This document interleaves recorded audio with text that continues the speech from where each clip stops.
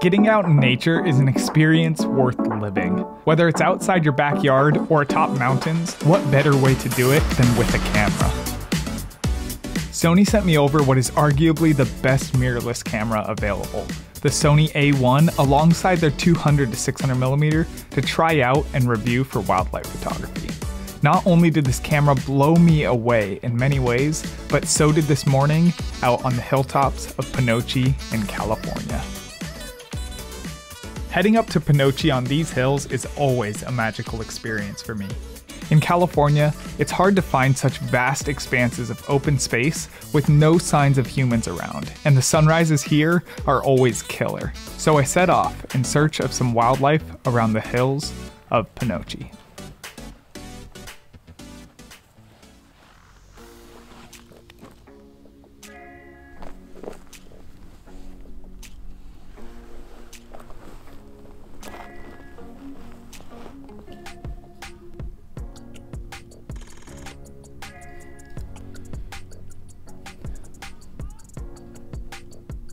So I'm out here today with the Sony A1 that Sony sent over with help from Hunts Photo and Video. What I'm most excited for is to use this kind of master, you know, best in its class for the flagship with the Sony in terms of autofocus and other things like the crazy 30 frames per second burst mode that it has, as well as some of the 4K 120p and other features like this. So there's a lot packed into this camera and I'm kind of trying to see just if it if it lives up to the standard that it makes a name for itself with. So let's test that out today and see what we can get. The morning started off with two horned lark I found after quite a while of searching. Beyond the ravens flying by in the distance, it was quite a slow start to the morning, and there was much fewer wildlife than the previous years. This was my third trip out with the Sony A1, and I've started to get used to it after using it in multiple scenarios. In some ways, it was breathtaking. In a situation like this, I'm able to take a shot of a horned lark from a distance and crop in drastically due to its high 50 megapixel count and the superb glass quality of the 200 to 600mm lens. However, this first encounter also showed the most unfortunate aspect of the Sony A1. This camera and Sony in general has been hyped up a lot for their amazing autofocus. Yet, in a tougher situation like this where the horned lark really blended into the ground, the Sony A1 truly struggled to tack focus when taking photos. Regardless, I would say that the autofocus landed around 50% of the time in these situations, so not horrible. But video was a different story. For some reason, while the Sony A1 contains bird subject detection in photo modes, they didn't include it in the video modes, making the autofocus terribly jumpy and inaccurate when recording video. While trying to take footage of these horned larks, the A1 only kept focus roughly about 30% of the time. All in all, however, these horned larks were undoubtedly a tough subject to land focus on, so it might be a little unfair to judge in such a tough scenario. That being said, I set out further away to try to find a better subject to try my luck on.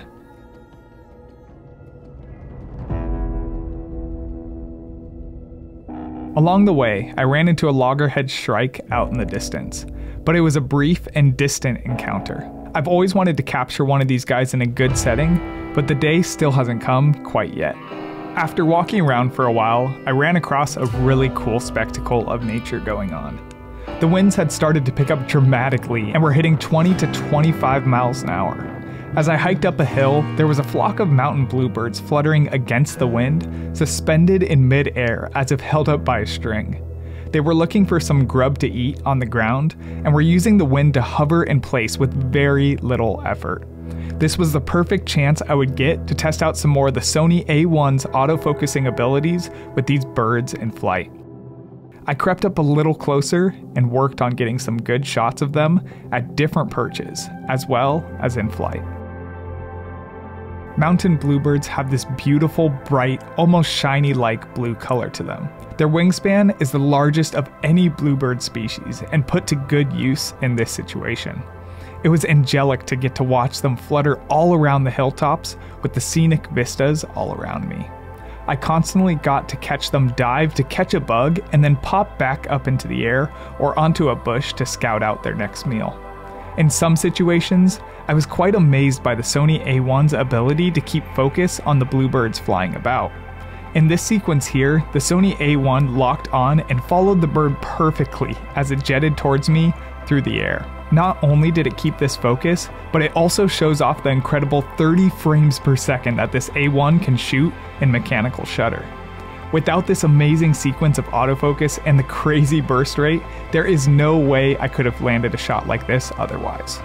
In other situations though, especially when foreground was involved, the Sony A1 had difficulty once again recognizing the bird, and it would take quite a while for me to correct these problems.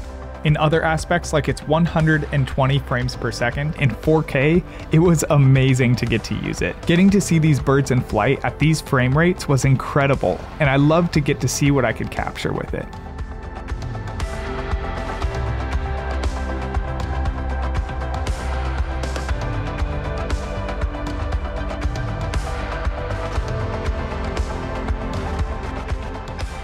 The loggerhead shrike popped up out of nowhere and returned briefly again, but then was off once again into the distance.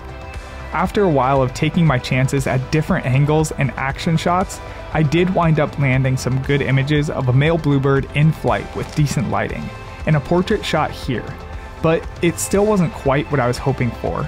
With the bluebirds flying all around me, I wanted to capture a male with its beautiful wingspan shown off as it launched from the perch. I moved around and eventually I found a great angle with good lighting and a bright blue sky to complement the color of the mountain bluebird. As he sat there, I waited for the exact moment he launched off and captured this freeze frame here as an action scenic shot of the bird. What incredible moments these were to get to experience on the hilltops of Panoche, with these mountain bluebirds showing off their insect hunting capabilities. I hope your next adventure out in nature is just as breathtaking. If you're interested in seeing my in-detail review with the Sony A1 for wildlife photography, check out this video here in the end screen. Thanks for following along in my adventure, and I'll see you next time out in nature.